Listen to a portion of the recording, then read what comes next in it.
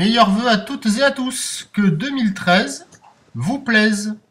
Bonjour, on commence le premier jour de l'année avec euh, une marée haute qui est en train de descendre, un temps qui est perturbé, alternant les passages nuageux, les éclaircies, les averses, une température extérieure qui est relevée à 9 degrés cet après-midi, un temps variable avec averse, une température à 13 degrés, la température de l'eau est à 14 degrés.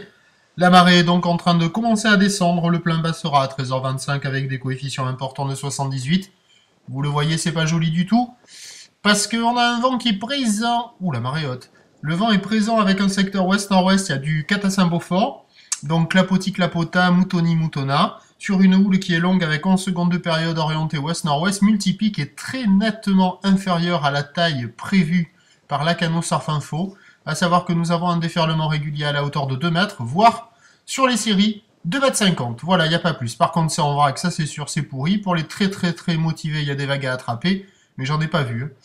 Alors l'évolution pour le reste de la journée, ou le stationnaire euh, quasiment toute la journée, ça va peut-être lentement s'atténuer. La boire cachon est à la baisse à 3,88 secondes. Ouh, du backwash. On attend à 13h 2m50, 2 m 2m50, pardon. Ou le ouest-nord-ouest en seconde de période, vent qui passe nord-ouest 4 Beaufort. Et à 17h, 2 m 2m50, peut-être un peu moins, avec une houle ouest-nord-ouest en seconde de période, vent de nord-ouest 4 Beaufort. Bon, aujourd'hui, c'est mort. Il vaut mieux se reposer en attendant des conditions beaucoup plus favorables pour la fin de semaine. Allez, bon 1er janvier, on se retrouve demain matin à 8h30. Merci.